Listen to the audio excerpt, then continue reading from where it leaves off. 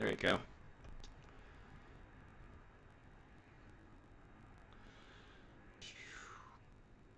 All right, we're on in 10, 9, 8, 7, 6, 5, 4, 3, 2, and 1.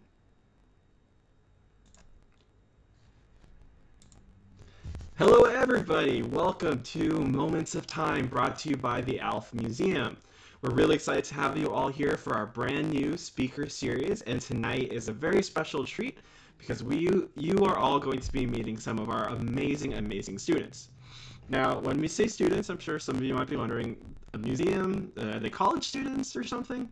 Well, not quite. Here at the ALF Museum, we have a very unique um, kind of deal going on, right? So the ALF Museum is the only accredited paleontology museum on a high school campus, and that is the Webb Schools. So that means the ALF Museum, um, we do a lot of really great work teaching high school students about paleontology, whether it's you know going out in the field, doing field work.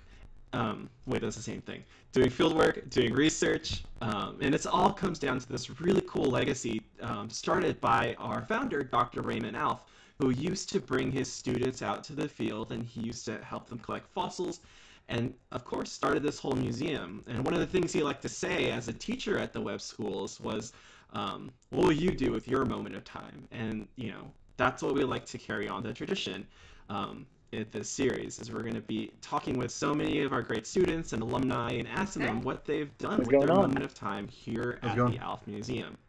Um, so really quick, for those of you who are joining us, in the chat I put a So, little hi, link. my name is Yvonne we'd like to and know I'm where a you all are BWS coming from, senior, so please click on and that, I'm and, uh, currently in the till we take Advanced Studies in. Paleontology And research class, I think I'd like to um, at- introduce at our Webb, amazing picture and I am. Hello, researching everybody. a little rodent skull um, that belongs to the genus Multituberculate. why don't we Uh, start is a new species letting you all that introduce yourselves? We're very close to start with you, publishing a new paper on, so it's very exciting.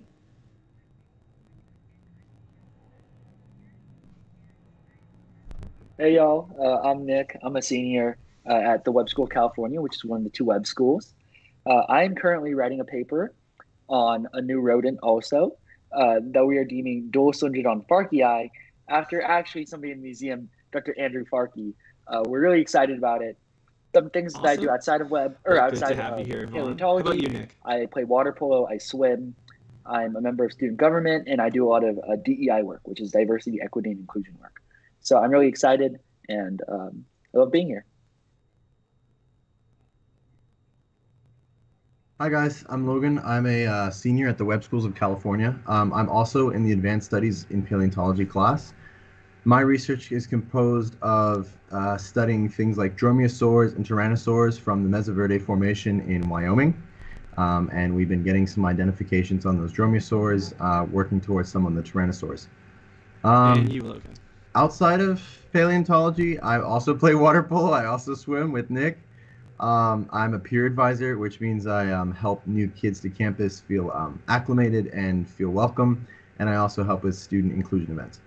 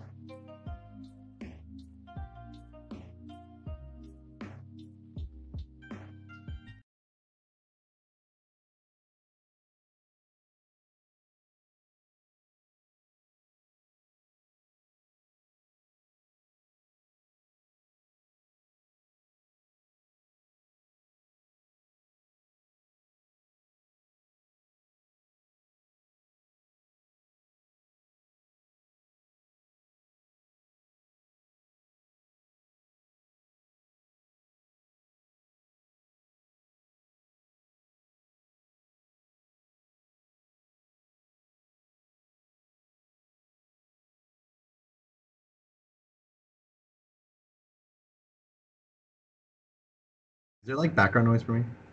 No.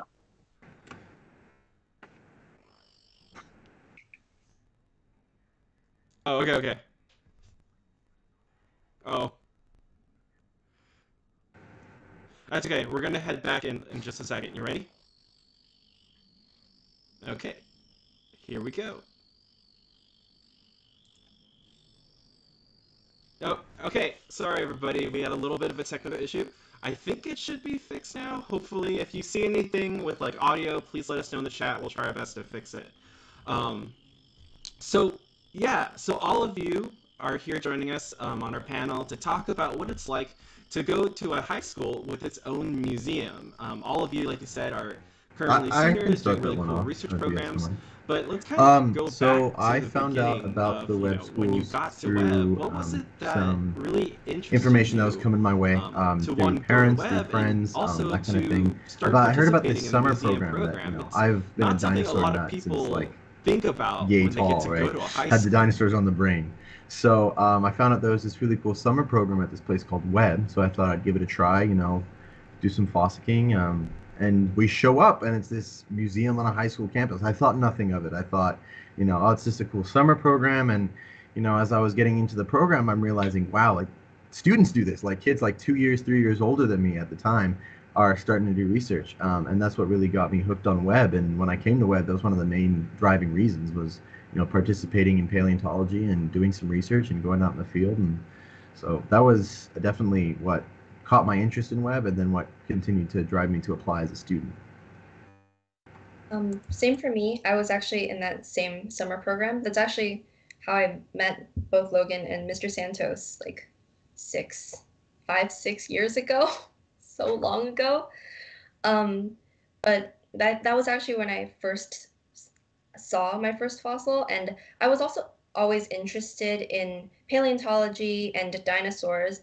Um, but it was kind of like a side hobby. I always knew that I was interested in the sciences, um, and it was just something that I never had the chance to really explore and do an in-depth, um, have an in-depth experience with.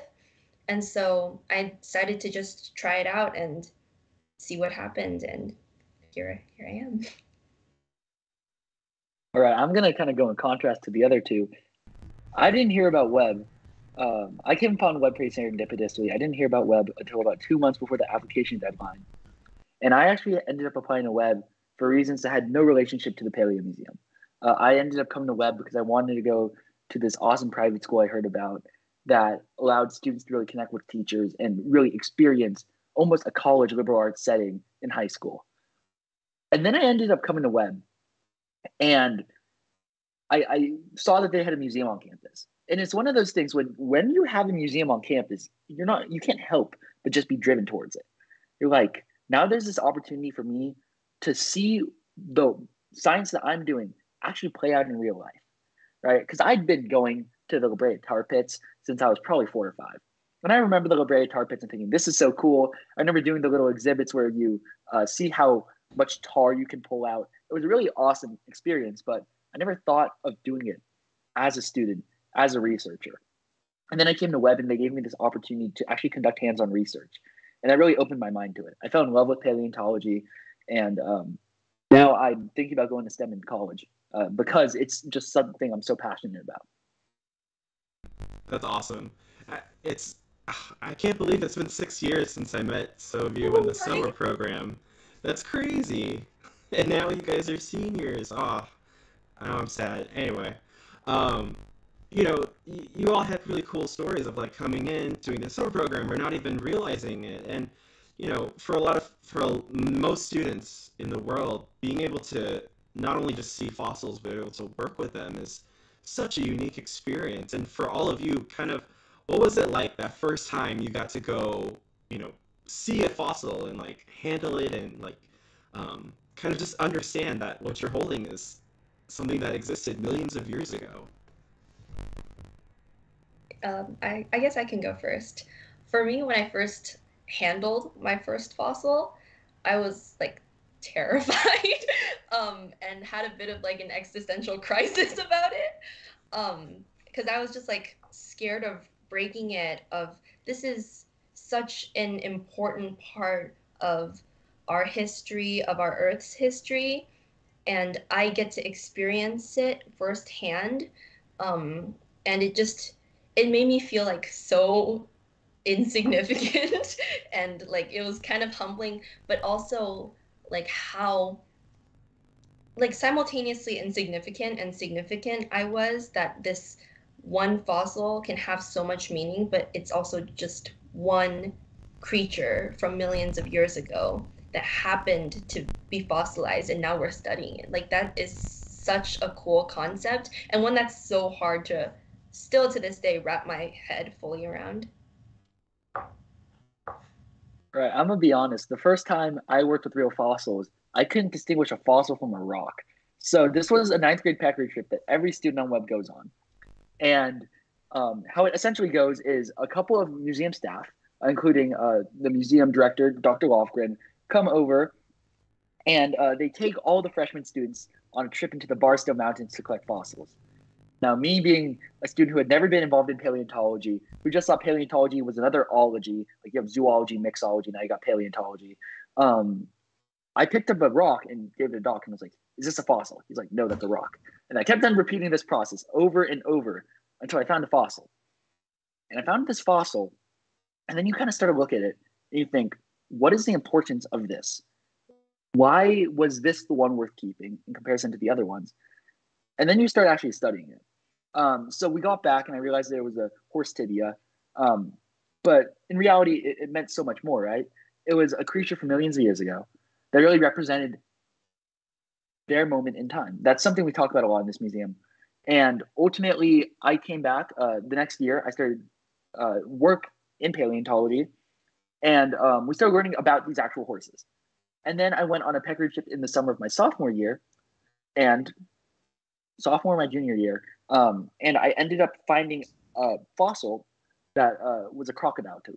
And I ended up actually studying that crocodile tooth in my ASIP class, doing research on it. It was such an awesome 360 because now not only is the fossil I'm collecting meaningful and I know what it is, but now I'm actually doing research on it and being able to discover deeper meaning that I can share with the broader world. It was it was really awesome experience. It was really humbling. I can really relate to Nick. Um, the fossils I'm studying from the Mesaverde, um, all these dromaeosaur and carnivorous dinosaur tooths are the same ones uh, I crawled on scorching hot dirt to get because they're these tiny itty bitty things like no bigger than your uh, thumbnail. Uh, but the first time I handled one, um, I think it was in Kaiparowits, Mr. Santos. Um, Kaiparowits is this very jagged mountain range in Utah. It's a um, Cretaceous formation and I was there pre-freshman year. Um, I came on the peccary trip uh, with Yvonne actually before we were, I came as freshmen. It was like summer of eighth grade to freshman year, um, and we emerged to the Kripe site, the quarry. Um, and this is like the area that Baby Joe was found, and like all these cool like fossils. And I thought, yeah, no way, I'm finding anything.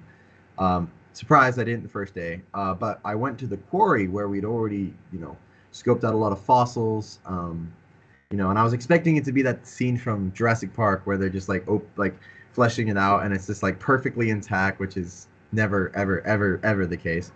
Um, and there's this massive dark line in the side of the rock, and I was like, huh, that's got to be a a coal deposit or something. I'm not. I was so excited to look down that I didn't even think it was going to be in the walls or anything.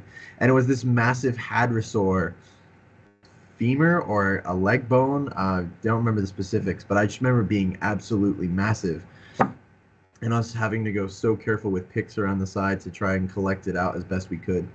Um, and I remember I was given the job of starting to chip, and I was chipping away, and I was like, "This is a really big leg. Like this thing is like easily this big on me." I'm like, "It's hum." To Yvonne's point, it's really humbling. Like these things are giants. Like, and they lived 65 plus million years ago and you're just a speck of dust. So yeah truly truly cool experience. For, for our audience at home really quick as you might have guessed a lot of our students have the opportunity to go on these really great um, field excavations that we call peccary trips. Um, the story behind that is that when ray alf you know was a teacher at the Webb schools he used to take his students out for field trips and they went out to barstow which is about an hour and a half away from um, here at the museum. And out at Barstow, they've got these really, really great 15 million year old rock formations. And so they were walking around, and the story goes that one of his students slipped and um, fell and tore his pants on something, and you know he didn't know what it was. Uh, Dr. Ray Alf went back and was like trying to figure out what he ripped his pants on, and it ended up being part of the skull of a peccary, a brand new species of peccary, actually. And so that's why we continue the name Peccary Trip in honor of that very, very first peccary. There you go. That's our logo right there, the peccary.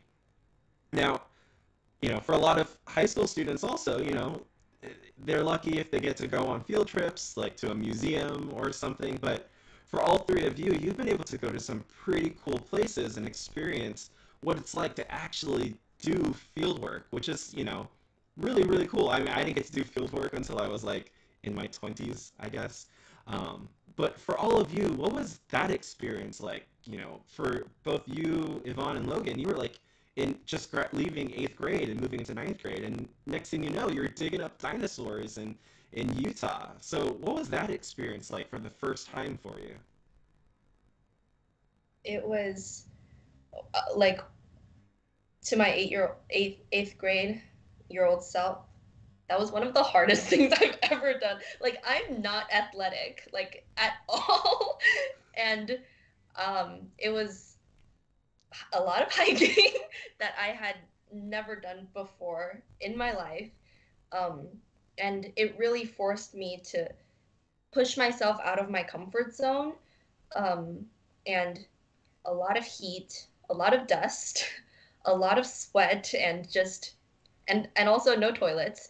But um, but then you find that fossil that you never it just comes out of nowhere and it's so unexpected and it just this feeling of deep satisfaction and then you go back to doing it all over again it is very satisfying and again very humbling um, work but then you get to see you know your own progression. You start that first rock that you find that you think is a fossil but then you start to learn and you start to develop an eye for it. Like it's a lot of practice. It's not perfect the first time um, but it's definitely worth it.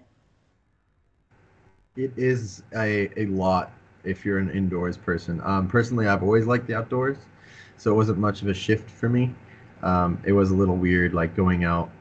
Okay here's the random point on the highway we're gonna just turn off and you drive for like you're like okay we're parking here right? Five minutes later we're parking here right? And then you know you're driving for another 20 miles on this dirt patch and then then you decide okay now we can probably set up camp. And that's where you are and then you have to hike in and out. Like that was Kaiparowits. Um, that's been some other sites I've been to in Wyoming and Montana over the years. And it's um it's a really powerful experience to be out with people in the middle of nowhere. And you know you're hiking as Yvonne said like you're hiking for hours. You know you have great you have amazing time to talk to faculty and students that you might not have connected with on campus or you know you don't see as often. Um, and yes it is hot especially in the summer in the american west. It does get very hot.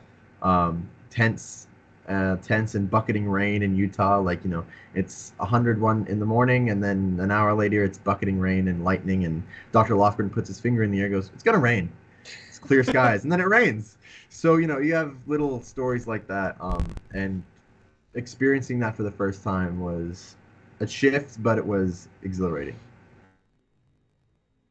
For me, being in the field was awesome because it really took my education uh, out of the classroom into something a little uh, more experiential.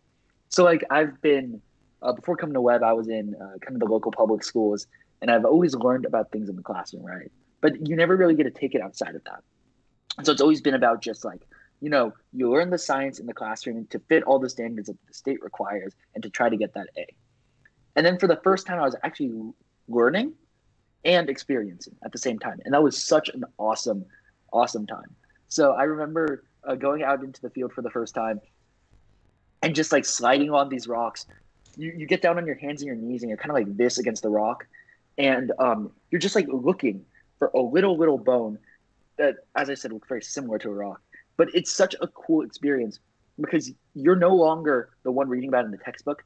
You're the one doing the research. You're the one who, like, in theory, is going to be the future writing the textbook. Um, which was such an awesome. Um, I keep on saying the word awesome, but it was truly an enlightening experience because for once I was like, hey, I can actually be the scientist. I don't need to be the I don't need to be the learner. I can be the scientist, and that was a really cool thing to see. Did uh did anybody have to do the lick test while they were out in the field for the first time? So often, so often. Yeah, it's just a very, very strange experience for an eighth grader to get told by a grown man with a PhD to lick a rock in front of him. I think that was probably the strangest moment of my life. And then um, to then have him be like, okay, lick it. I lick it, takes it from me, looks at it, and then throws it over his shoulder for a 20 foot canyon and goes, all right, let's keep going. Probably the strangest experience he'll ever have. I've seen Dr. Farke lick many a fossil. Like he, it was um a tyr- I found a tyrannosaur tooth on the last peccary trip, and I was like, Dr. Farke, I think I found something. And he takes it, and then he just like pops it in his mouth like candy, and then he's like, and then he spits it out, and you're like, cool. For context, y'all, um, you lick a fossil to see, or a, a prospective fossil to see if it's actually a fossil, because in theory, the fossil is supposed to stick to your tongue. Yeah. Uh, and a rock will not. So you're gonna see like paleontologists in the field just pop fossils into their mouths to see if it'll stick to their tongue.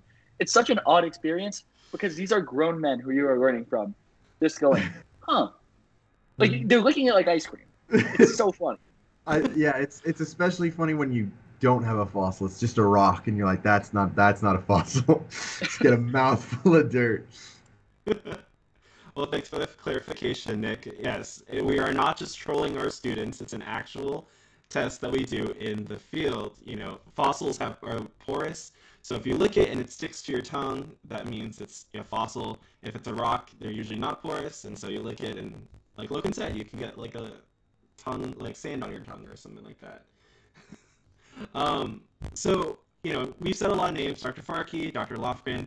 Uh, for those of you who may not know at home, Dr. Lofgren and Dr. Farke are the two who have been essential in really developing this unique and amazing program at the Webb schools and the ALF Museum. Um, Dr. Ray Alf, he started the tradition of really using storytelling to teach our students and bringing them out and giving them actual field experiences. But thanks to Dr. Lofgren, we were able to create this really, truly immersive research program to learn about natural history and museum sciences. And when Dr. Farke came in, they really brought it to the next level of creating something that students can learn about the importance of science, learn about the importance of research, and apply that to other aspects of their life. Because Dr. Farke will tell you, our goal is not to create more paleontologists, even though I think the three of you are interested in kind of science, right? Yeah. Okay, yeah. Our Sorry, goal is not to always making create new enemies. um, well, talking back about field stories, do any of you have like fun field stories that you want to share for like potential Webb students who might see this? Something that they have to look forward to. Go ahead, Logan. Yeah. Um, I've been on three summer peccary trips and plenty of Barstow weekend trips, so I've got a lot of funny stories. Um, I still think that my Tyrannosaur tooth has got to be the best one. So my sophomore somewhere between my freshman and sophomore year, um, we headed to Wyoming for the first time. Um, this was a site that had really not been explored um, in the paleontology sense in a long time um, in northern Wyoming. And I was eager because you know this is the it's the new site speech, it's the no one's been here speech. So I'm like, yeah, new discoveries right off the bat. Um, and we had some really experienced um, Webb faculty who have done a lot of trips. So you know they were finding things, and a lot of older students who were finding things. Um, and I was not in the paleo class at this time, so I was still like kind of learning the difference between fossil and not fossil. Um, and so we spend a few days out there, and it's like day two or three. And day two or three, turning up empty-handed with other people find things around you. You know, you're happy for them, of course, but you know, a little bit of your soul gets crushed a little bit inside, uh, especially when it's 100 degrees out and the Yvonne's found like I don't know, 10 little fragments, and you're just sitting there like, you got a rock. Um, I brought some plant material back to Dr. Farke, which I thought was super cool, and then he threw it over his shoulder, saying, "We've got so much of that, we don't need any more of that." I was like, "Okay." Um, and he started to get impatient, and that's when I learned the lesson of like patience is a virtue in the field. So you know, I sat down on this little crevice and rock, and Dr. Farke said, you know, chip it, chip at some of the rock outlets. You know, that'll really bring out some fossils because solid rock will contain some more fossils jutting out of the soil than just loose soil where everything gets knocked around. I'm like, yeah, yeah, like he's just trying to, you know, make me feel better. And um, so I'm chipping there, I'm chipping there, and this, I hit this hollow thing, and it's like a little poof in my face. And I was like, okay, keep going. And the dirt we were working in was a very, very beautiful light golden tan color, but what fell out was like this shiny black brown rock. And I was like, oh, that might be cool to look at. I look at it, and I turn the rock over, and I look, I'm like, okay. And I look at it, and I'm like, wow, that's a really triangular rock. Like that's a really beautiful rock. Um, until I take a squint in the blazing sun and go, wow, that that looks like a knife's edge. Oh, that's serration. So this is a like a carnivorous dinosaur tooth, and it's got like the little bumps on the side of the tooth for like biting into flesh, like you see on a like a a, a kitchen knife. And I I just looked at it and I was like, wow, this is great. And I went up to Dr. Farke and I showed him it, and he goes, wow, this is great. so it was that moment of like, wow, this is really awesome. And then I turned up nothing for the next three days. But that, as Yvonne said, was the satisfaction of finding that. And that was a really cool experience for me. Um, so many other funny ones of like Yvonne and I having to dig latrines. I've got kids like going to use the bathroom and sitting on cactus. Um, yeah, I've got I've got a lot, lot of campfire, you know, playing Uno at ridiculous hours of the morning in some random place, you know, really really fun experiences. But I'll let someone else tell a funny one. I can go with a kind of fun one that's not directly a while we were searching for fossils, but it's as Logan was talking about, kind of in the mix. Um, so we come back from a long day of searching for fossils on our freshman year peccary trip, and I don't think anybody in our class found anything. Oh, we are a bunch of ninth graders. Uh, you know what Logan probably did, uh, judging by Logan raising his hand. Um, but the majority of the kids who have never done a peccary trip before just aren't finding anything. We're not coming up on anything, and we kind of come back disgruntled. We're like, oh gosh, like what are we doing, right? Um, I'd never been camping before though, and I we go out and it gets dark, and we lay out a little um, we lay out a mat and we're all laying down under the stars. And legitimately, this is the first time I'd ever been able to see the stars. And I remember that moment because I like looked up and I'm like, whoa, there are a lot of those. And then we go up to the top of this like hill next to our camp, and we all just lay down and look at the stars. Somebody brings out a ukulele, someone brings out um, a couple snacks, and we just end up sitting on the top of a hill, singing, having like without the fire, but like a mini campfire type of deal, uh, looking up at the stars. And I remember thinking, wow, this is really awesome. Even though I didn't find anything in the field today, this is what a peccary trip's about. It's about building community. It's about uh, working together to kind of just experience science firsthand. So I really enjoyed that. That was a, that's a great story. I, I felt that one. I could hear the ukulele. That was really cool. yeah, you can hear like the, we were doing the SpongeBob Fun song so like, could really you could really resonate with that. Yeah, music is a big part of the field for sure. You can ask Dr. Farke what his favorite ones are. Britney Spears. Just kidding.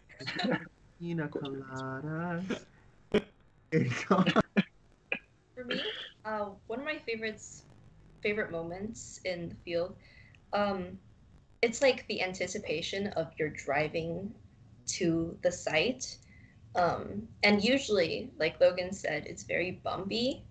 And I actually really like when it's like bumpy, um, cause like I, I fall asleep, and um, we were driving out, and it was like from what I I was told, it was like a roller coaster ride. I think Logan can attest to that from when he's nodding his head.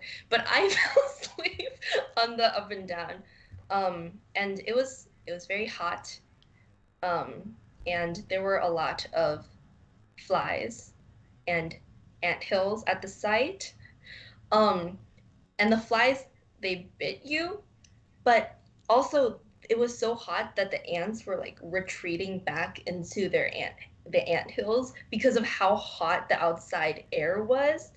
Um, but then that means that we got to like kind of explore on top of the ant hills where they brought like tiny little shark teeth, fish scales onto the surface. And you just see like everyone has their own ant hill that they're just like sorting through. Um, and then um, one of the um, people in the prep who works at the museum, um, Mr. Jared Heuck, he suddenly screams out like, "I got a multi-tooth!"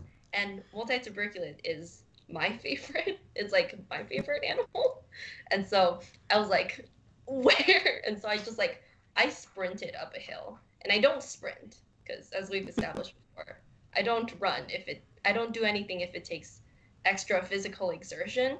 But I, I sprinted at him, like I charged straight at Mr. Jared, um, and it it was like a tiny little mammal tooth that was like this big, not not even that big, and it was the most beautiful thing I've ever seen. and I I was extremely jealous that I did not find a mammal tooth like he did, but I got to see him do it, which is almost as good. Yvonne is our multi-tuberculate expert of the student researchers, so I can just imagine you acting like the Flash, and one minute you're right next to Mr. Jared. That is pretty much how it went down. so, I mean, as, as a lot of you can see, the field is a really great experience for our students. You know, it, you form bonds, you form really great friendships. Um, you get to meet a lot of the cool museum folks. It's it's it's a very unique experience, but that's only one part of being part of the uh, museum experience at the Webb schools. You also get to actually have a, a museum right in your high school, right behind some of your classrooms. You get to work in there, you get to work in the prep lab. And, you know, for all three of you, um, what was it like, you know, the first day when you realized that, like, I can just go into the museum and look at fossils kind of whenever you feel like it? Was that something that was just like, I don't believe this is real for a while? Oh, absolutely. Um, I remember the first time Doc handed me a specimen that was we call it MQ, right? Like museum quality, but beyond that, something worth studying. So he hands me this first fossil, and it is tiny. It is um, held up by a toothpick um, with glue, and then a little tooth that is we measured it about a millimeter long, and I am studying this specimen, learning how to research that and go under a microscope and like working specifically with these tiny little teeth was such a cool experience. Um, but it also taught me care. I'm not a very delicate person. Um, I, I play water polo and I swim, um, but I do not have very good body control, which sounds weird. But like I, I'm just not very delicate with my hands. So it's definitely an experience. Um, but every day that week, there's these things called office hours at Webb, where essentially you can go in after school and do pretty much extra time in a class every day that week. I just remember going in and looking at my specimen and trying to diagnose what is this fossil? What can I do with it? What what should this research paper be on? Eventually, I looked at the specimen enough and said, I'm not finding any connections to anything here. Like, what is going on? And then I, I ended up saying, Doc, I think this is a new specimen. Like, I think this is a new species that we've never found before. And I write up this paper on uh, what is now deemed Dolocylindrodon farkii, which is a new species of um, Dolocylindrodon, which is a tiny rodent. And not only did that say that there was a new species, it also dated the genus um, back to the Uinta, when or dated the family back to the Uinta when before it was in the Duchenne. So I also changed the time zone. It was essentially um, deemed as part of. That was so cool because now I, I created this contribution to science. And that was just by me like constantly going in and thinking, what am I doing? Like, what is, why can I not find any connections? And I ended up making this awesome contribution to science. So, yeah, that first experience of researching was such a cool one. Uh, for me, knowing that when it finally clicked that I could just go to the museum whenever I wanted, um, it was very surreal and very dreamlike. And I did the uh, museum uh, volunteer afternoon activity at Webb uh, for two seasons. So I think it was winter and spring season. since yeah since freshman year and i basically spend every day there and it's become my happy place like i it feels weird not going there at least once in my day just to kind of soak in the ambiance and the emotion that that place imparts um, it's a place of a lot of memories both personal for me and also uh, of like paleontology and the science of it all. Um, it's and I'm just so grateful and so lucky that I have that space available to me so readily. Um, I think it was when we took classes, um, when we started classes. So the part of the back area of the museum hosts our our science um, facility.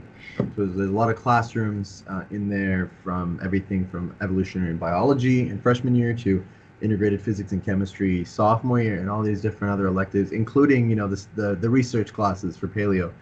Um, and I have to say that I picked up on it. You know, walking there's these double doors that lead into the main entrance of the museum um, from the classroom area back behind.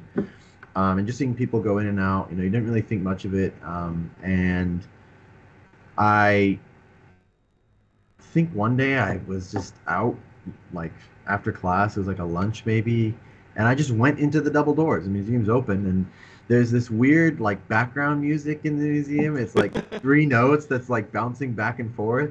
And there's an Allosaurus. There's like dinosaur roars in there. Yeah, and there's like Sorry. dinosaur roars and like wind blowing. It's like super cool.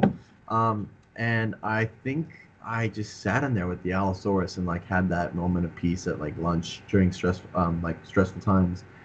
And I think that was the moment I was like, wow, this is a really peaceful space. Um, we're lucky to have it as a high school. And then once I was into the paleontology program and the research um, classes, being downstairs in the lab with the fossils and the microscopes and Dr. Farke and you know the prep lab across the hall, um, it was really, really yeah, it's like you're in a movie. You know, it's really cool. I do feel like that sometimes myself, even though I get to work there. You know, you get to go in and there's a new fossil every day, and uh, it's just really fun, I think. And you know, I I will also say that us at the museum are pretty lucky to have you three and all of our other Peccary scholars as our as our students, because you know, it, the museum program is not for everybody. Where it, you know, it's for a it's a select group of students who want to go into that program, and um, you know, but there there are lots of other ways that students can participate in the museum. Like Yvonne said, we have our afternoon activity program where students can come in at the end of the day. They can work in the prep lab. They can work on in collections. They can do outreach stuff with me. Do research with Doc. Um, everyone has a chance to do freshman Peccary trips, but then after that you have your advanced studies, and the three of you are in our advanced studies in paleontology class where you're basically researchers. You're doing firsthand research, working with Dr. Farke and Dr. Lofgren to, like Nick said, contributing to science. Does that like just weird you out sometimes that you're like doing like things that people go to like college and get paid for as professionals and you're doing actual research and publishing? Um, absolutely. Like when I was in the museum afternoon activity, um, and I was looking at all these fossils, and they have like the tags where they have like the person who collected it, the person who ID'd it.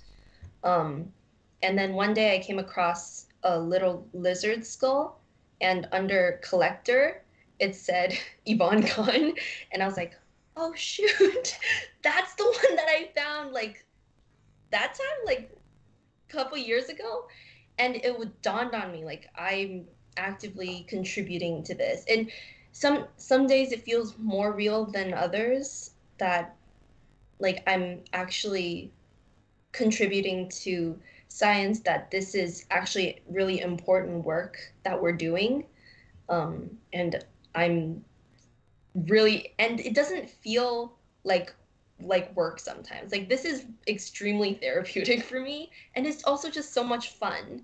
Like learning about fossils, learning about uh, all these ancient animals and doing it with people who are just as dedicated and are in love with this science as much as I am is it feels like it's too good to call it work. Nick, you're, uh, I'll go. Um, researching is incredibly, incredibly diverse and complex. And as Yvonne says, like you really have to be in it to win it and like, wow, this is what I'm doing and driven to come in every day to to really get a hold of it. I will say it is not for everyone. It is very dense. You know, we do a lot of reading. Like there's a, there's all the things that the paleontologists like walk into the field, pick it out of the dirt, and goes, "This is blah blah blah blah blah blah blah," like right off the bat. Like um no, for for example, uh, my research, I had to read a lot of previous works by other paleontologists, you know, in the same region or on similar sp- similar species and uh, families of the um, specimen. So it's a lot of reading um, and you know learning that lingo of like what is a what is distal, what is proximal, what is posterior, you know, like all those kind of medical directional terms, and then you're learning about different kinds of teeth. Um, it's you learn, and it was the process of learning that I found most difficult. But once I got past that, and you still do, you learn new things every day. You know, like you learn a new phrase, or you learn like, hey, this um, this family connects to this family. You know, you learn a lot more um, researching. Um, I'd say when you're hands on, um, and it definitely it's so cool. It, it, it really is. Like you're taking pictures of it. I like two days ago, I was in the lab. I was taking pictures of the dromaeosaur teeth, and I'm zooming in on this serration, and I don't know. I will very Jurassic Park orientated because it's a it's a pop culture icon, and a lot of people can re- relate. It's like that scene when Alan Grant is describing to the little kid like how the raptors kill their prey. And when you're looking at these little teeth, you're like, well, I can see why. You know, they're serrated. They look like steak knives. So, you know, seeing that and writing about it, it's um very mature experience for you to realize that you are part of something bigger than yourself. Yeah, I have a similar experience to actually Yvonne with this. I, I went on this peccary trip. Um, me and Yvonne were actually the only two students on this. we went out to the North Horn Formation in Utah. And we found this site. It was kind of um, separated from where Doc and a couple of other members of the Paleontology Museum were. And we kind of explore out and we get into this matrix. And it is really slippery. And essentially what happens is I slip and I fall onto this um, kind of hillside. And then I reach down and realize I see a tooth immediately. And I'm like, oh shoot, this is awesome. And then I find another one within the next like two minutes. I was like, oh shoot, I found two teeth in two minutes this is an awesome new site. So I call over the other members of the museum staff and I'm like, hey, hey, let's look at what I found, right? We found this new museum site. And uh, they said, okay, let's mark it down as a locality. Nick, what do you want to name it? I said, wait, I, I get to name this place? They're like, yeah, this is a new locality. You get to name it. I never ended up coming up with a name. So it's now just known as Nick's site, which I feel like greatly honored because now my name is on something. Um, and it's funny because Logan said that every day you're learning something new. It's crazy to think that people are going to look back on this research and learn something new from what we're doing. Um, a couple days ago, I was I was completing my paper on um, Tardentia, and as I said, I, I we named Dolicylindrodon farkii after Dr. Farke, one of the members of the museum. But before then, I remember asking Doc, "Can I name it Ratatouille?" Like as a joke, like "Can I name it Ratatouille?" And he's like, you realize people are going to read this, right? And I was like, and I thought about this for a second. I was like, no, you're right. People are actually reading this and caring about this. And this is a scientific publication. This is a big deal. Like, this isn't a Pixar movie. And I just, the more I reflected on that, the more I was like, this is amazing that the work that I'm doing in high school, the work that I'm doing as part of a high school class, is making this brilliant contribution to science. I think that all of us, a lot of at least for me personally, uh, I thought that there were so many hurdles to get to a certain place where you're making significant contributions to paleontology. Um, but I think all of us, because we go to Webb, because we have this invaluable experience with the museum, we kind of get a jump start at it. Um, and before you know it, you start to see the progress that you're making and start to see the work actually appear, which is really awesome. I don't know about you all at home, but I'm very, very proud of these students. Aren't they just aren't they just amazing, right? Like I'm sitting here just listening, trying not to cry of how awesome they are. Um, Logan, you said something about like you know Dr. Grant talking to kids. It's you, basically you three are like the new Dr. Grants, though, right? Like you've I been mean- able to, you've been able to teach, talk to kids, and create science, and you know foster in this next generation of research. Yeah, I, w- I will say um, I've done weekend volunteers uh, coming with people coming in and out because you just said working with kids and that like that's just such another great thing. Um, we as students have an opportunity if we would like to like help out. Yvonne is in the afternoon activity, which is selected, which is in the weekdays, but in weekends, you know, we can help up sign up. Um, we have discovery days. We have things down in the Claremont um, downtown as well as here on campus to promote other museums and universities research and you know compare notes so to speak in a professional sense. It's like Comic Con for nerds in paleontology, basically. Not quite the big thing. I don't know what the equivalent would be, Mr. Santos, but um, working with kids is it's really great because you see you know yourself. Like I see little Logan with dinosaurs on the brain. Um, even if they do think the world is only you know 100 years old like i had this three-year-old or four-year-old come in with his mom like we have the time spiral at the very beginning of the exhibit something that um, dr alf talked about a lot. Um, it's this spiral of life and at the end is this little tiny red strip where humans are uh, but the rest is this massive thing in a glass case. Um, and before i kind of point that out i ask usually younger age kids how old they think the earth is and that's pretty comical answer um, and it's really great to see their eyes light up when they see the big Allosaurus, which is called the T-Rex by four-year-olds, and my my heart cr- my heart cries a little bit, but it's really awesome to see that, and um, that's what it's all about. If you're comparing me to Alan Grant, I would take that as a huge compliment. Like I looked up to Alan Grant as a kid, so like we'll roll with it. The, the whole Jurassic Park series um, was really like. I'm gonna be honest. I grew up on Land Before Time, so I don't know. Yes. I, I think that was my most influential thing for me. Like growing up and being like long neck, long neck. um, yeah, it's it's really awesome as Logan was talking about. I remember one time we brought we bring guests to Webb all the time. There was this one time where I was actually doing for um so at Webb we have these trips called unbounded days. During unbounded days, we focus for three to five days on a topic that um, in the essentially in the field, um, but beyond paleontology. So, for example, I did a four day long course on immigration and asylum in the United States.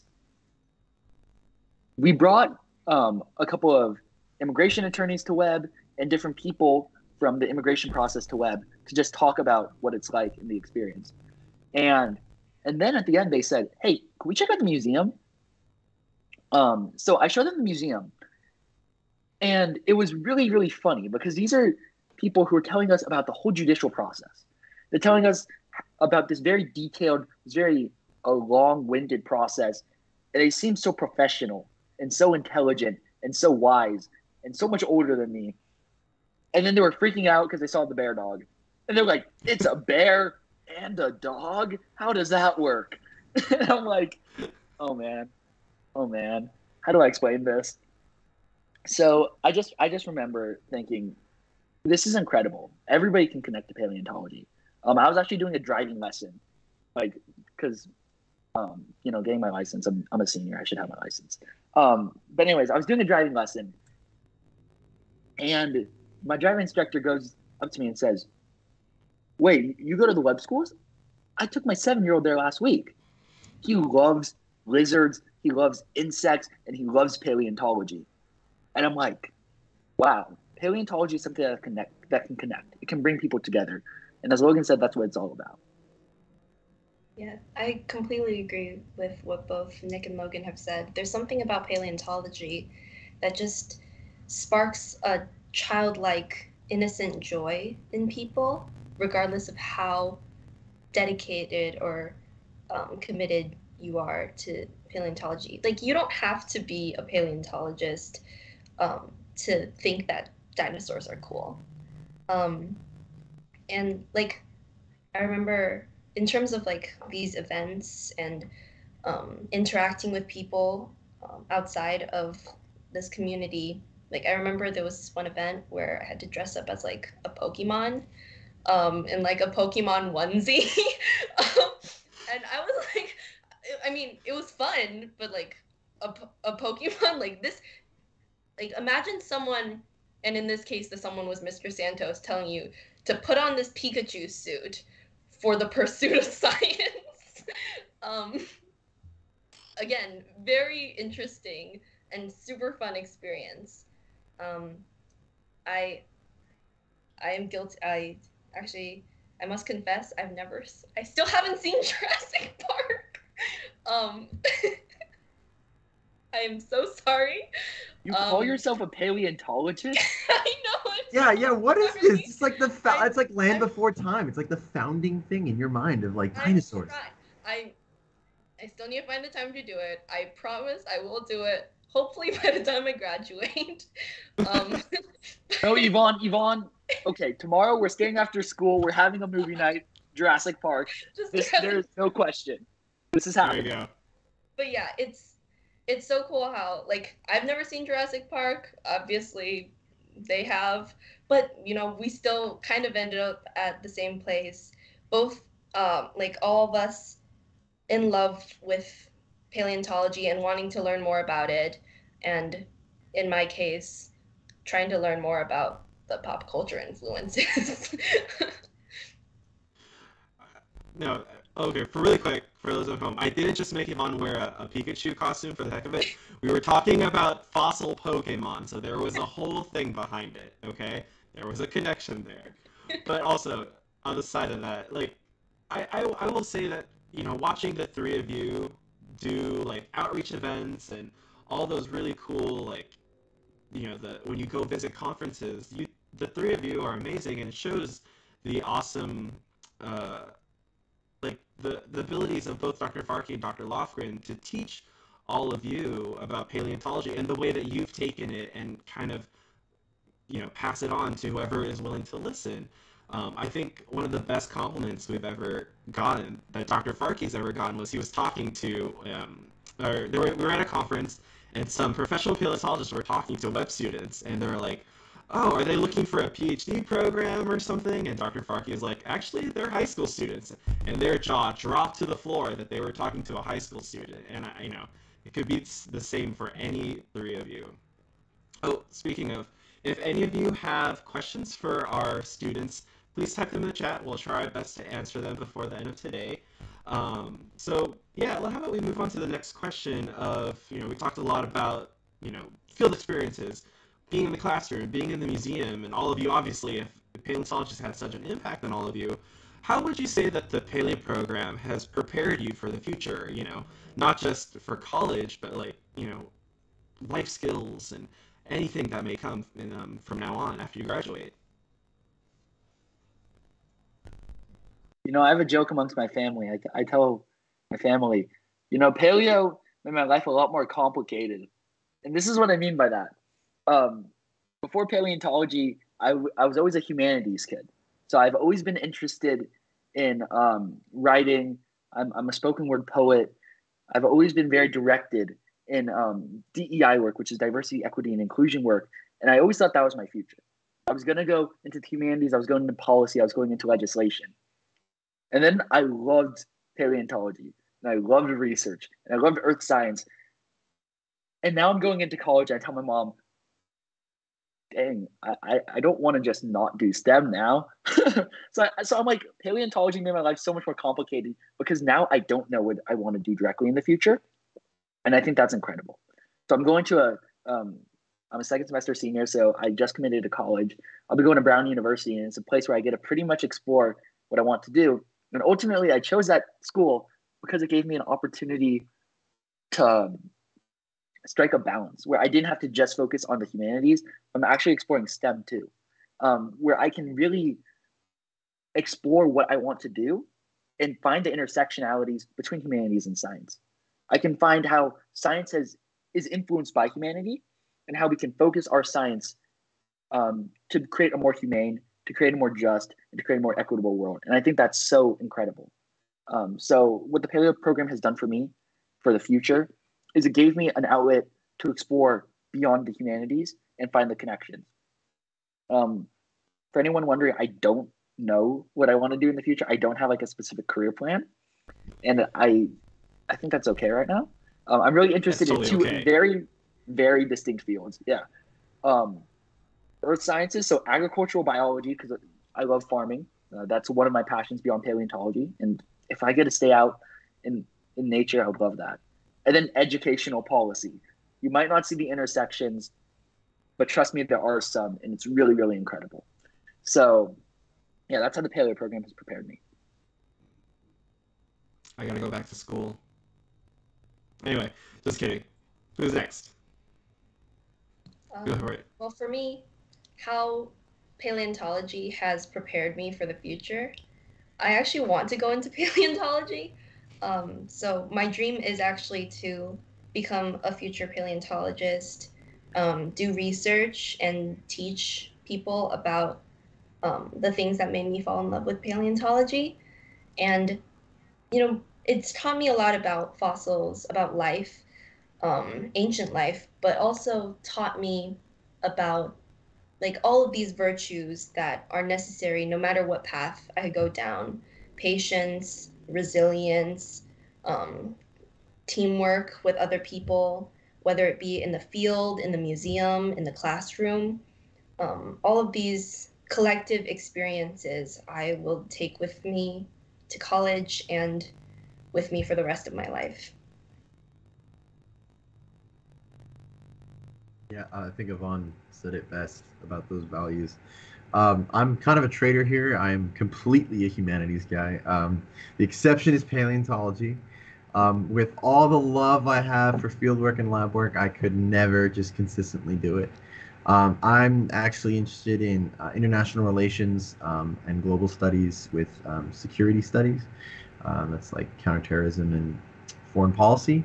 And I'll be doing that at American University in Washington, D.C. So I get to carry some of the things I learned about interacting with others. I want to bounce on that. Um, you learn from people of different backgrounds. You go to talk to different people from different universities in different countries. We had paleontologists from all over the world. You know, you name it: China, Italy. Um, I think we've had some from Latin America. We've had, I know, I know China and Italy for sure um, have come through, and those have been really cool. And you know, there's a greater paleo community beyond the United States, um, and realizing that is really important to acknowledge uh, other people's accomplishments. Um, and I think that interacting with those people and learning from, you know, finding the same common ground to work towards, you know, as we talked about, it's all about finding the truth of science and like what was this thing, as Nick said, and that's the common goal. And I think that was really a beautiful thing to see, and that's something that'll help me. Um, I know you said that's not gonna like what's not gonna help you in college, but writing those long papers is gonna help. Like 18 pages, no problem. You got it, man. you know, I'm gonna be sitting next to classmates lectures I fear, and they're gonna be like, okay, guys, so 10 pages, but here's some gasps from behind me. I, am not sure. Maybe maybe I'll have that. So I think I'm prepared for that um, dense dense information. But um, seriously, the the connection on a, a common topic and a common drive from people around the world. Awesome. Well, thank you all so much for that. It's unfortunately we're coming near the end of our panel. This has been really great. You've all shared some really great stories. Um, before we end it, how about if for any future Webb kids who might be watching, um, really quick one piece of advice you'd give them before they come and maybe take the museum program track. Go for it. All right, I'll start us off. Um, if I had one piece of advice, it would be as simple as just go for it. Um, truly, I didn't expect to be in paleontology until I was in paleontology. It was something super foreign. And ultimately, I came into Webb not knowing what it was. Um, freshman year, as I said, I didn't even know what a fossil looked like. And ultimately, I fell in love with it. Uh, I think that's the beautiful thing about Webb, about high school, about the museum. It really gives you this opportunity to just go for it and really explore everything. Um, at Webb, you also don't need to be limited to just one thing. Um, I think there's this like myth that in high school, uh, you have to be limited. You you can be just the athlete, or you can be the spirit kid, or you can be the really academic nerd. That's not accurate. Um, one and two, I think the the most fulfilling high school experience is one where you get to explore all of the above, uh, where you're not limited to just being that kid um, in that one specific field. It's really finding the intersections between all of them. So I would just I would advise you, no matter what it is, whether it's paleontology or it's that sports or it's that club or it's that class, just go for it, try it out, and you might learn love it. Thanks, Nick. You took mine. I was just gonna say, um, yeah, if just if you're interested, even vaguely interested in something, definitely try it because you might learn something more about yourself. For me, I didn't like I didn't know that I was capable of doing everything that I have accomplished with the paleontology program. I didn't know I could hike that far. I didn't know that I could write papers that long. Um, and even if it's hard, I know now that I can do it, and that more so, I actually really love it. Um, and you learn more about what yourself about yourself and what you're capable of, um, and taking that risk it just pushes you one step towards discovering a little bit more about yourself. Uh, funnily enough, um, like Monday afternoon, we had this meeting, the same question in our PA meeting about what what piece of advice. Um, wow, yeah, Nick and Yvonne really set the bar high. Wow, I got to cross this one. I was thinking about it. They're both talking because those were two things I was gonna say. Um, if you apply and you are accepted, you belong here. Uh, it's a very rigorous process. Um, I'll admit, when I came here, I was surrounded by kids going like 100 miles an hour. Like, you know, you feel like you're sitting in the slow lane sometimes at Webb. You're just surrounded by all these incredibly talented and brilliant and vibrant people. And sometimes, if you're a little hard on yourself, like myself, it can be really hard to um, find your pace and find your balance. Um, but just know that if you're here with us in this community, that um, it's worth a shot. You know, you're here, and people here are some of the best people you'll ever meet. Man, they're weird, but they're some of the best people you'll ever meet. Um, and just, just be yourself. You don't have to be anyone else here. Um, and as Yvonne said, you learn from yourself that way. You know, I didn't know I could do that swim set. I didn't know I could go from theater to water polo. You know, I didn't know I could find a 85 million year old fossil in a rock in Mo- Montana. You know, it's exploring who you are, but being you in this space. Um, and you are here, therefore you you have the opportunity to do that. Awesome. Thank you all so much for this really, really great panel. As all of you at home can see, these three students are absolutely fantastic, and we're just so proud to have them as part of our Peccary Scholars. And really quick, Logan, um, do you know what Gene Drinkwire? Uh, they're saying that they were your Montessori teacher, and you've been a dinosaur lover all your life, and so they joined us in the chat today. They did. Thank you guys. well, that about does it for our panel. Thank you. Thank to all three of you for joining us. This has been a really fun panel. We learned a lot. And thanks so much to everybody at home for tuning in and learning about the ALF Museum and our really, really amazing, unique program that we have at the Webb Schools. Um, if you want to learn more about our programs, we have Moments of Time again next month on March 23rd, where you'll actually get a better in-depth look at one of our current research projects and some of our other Peccary students, um, uh, Peccary scholars, uh, give talks about what they're actually trying to research in the program. Um, also coming up, we have Discovery Day on March 12th. Um, this upcoming one is called The Power of Plants. We're going to look at plants through natural history and the way that they affect our world today. And as always, if you like this program and want to support programs like it at the ALF Museum from our students to our outreach programs, you can find links on how to do that in the description below. Make sure you like and subscribe for more stories from the world of paleontology, and we'll see you all next time. Bye, everybody!